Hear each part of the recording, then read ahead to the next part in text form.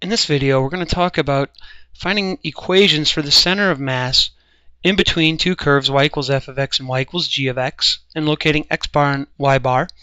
So x bar is the moment of the tendency to go around the y-axis divided by the total mass, y bar, moment around sum of the moments around the x divided by the total mass. And let's see how we do this. So first thing we want to come let's come up with is the mass. And I'm going to do this with slicing. So here's my ith slice and x sub i is somewhere in my ith slice. As always, it's going to have a width of delta x. So this notation may look a little bit interesting when we get into the subs, subs, but the mass of the ith slice. Let's talk about that first. Well, the mass of the ith slice is going to be the density at x sub i. Again, we're choosing that slice so small that we can assume the density is constant. This is if we have a varying density. We'll talk about if we don't at the end.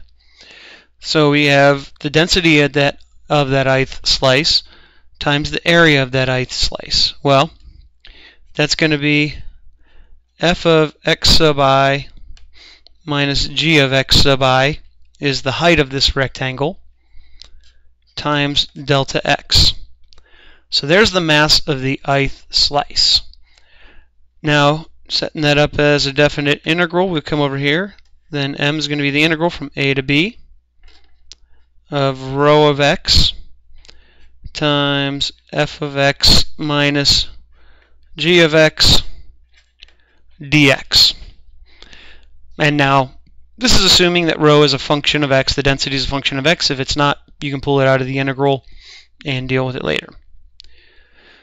Okay, next up, m sub y sub i. So we're going to look at the moment, sum of the moments on the, we're going to look at the moment on the ith slice, and then we'll generalize it to a definite integral very quickly. So that moment on the ith slice is going to be the mass, which we know times its distance from the axis. So the distance from the axis, the y-axis, is just x sub i. So it's going to be x sub i times m sub i.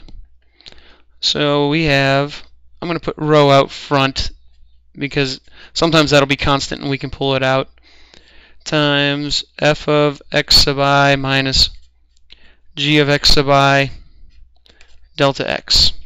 What that's going to do is that's going to allow me to write m sub y as a definite integral. a to b rho of x x times f of x minus g of x dx. Notice the only addition from m is that we had to put an x in there. And this is for finding x bar. I know there's a sub y in there because we're um, looking at rotating around the y-axis. But notice that m sub y is part of finding x bar.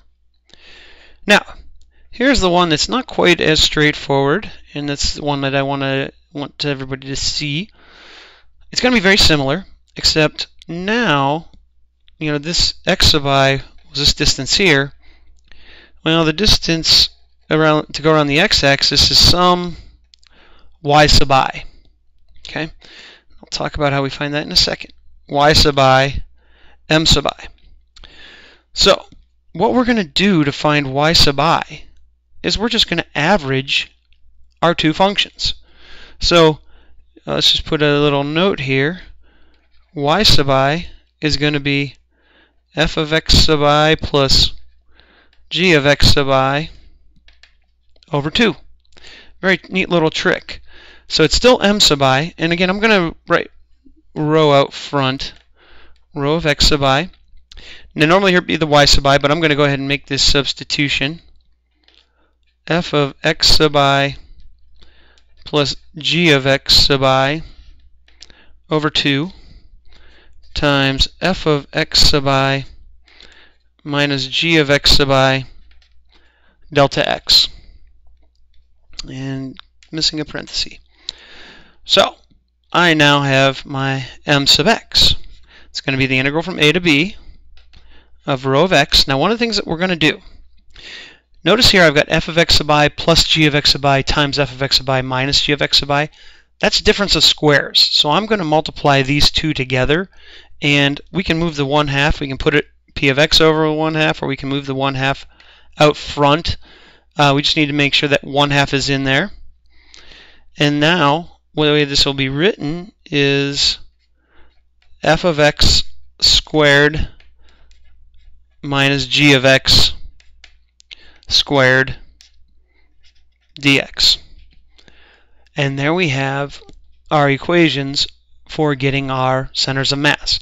Now, one thing you may notice right away, if the density is constant, because you're going to be doing the moment, the sum of the moments over the mass, the densities will cancel out. So a lot of times you won't necessarily see the density actually involved in finding the center of mass. It's more the shape of the plate that, that uh, determines the center of the mass if we have a constant density. If we have a density that depends on x, then we'll have it in here, which, as you can see, could make for a pretty complicated integral. So there's our formulas for finding center of mass, x bar, y bar, if we're looking at a region bounded by two curves.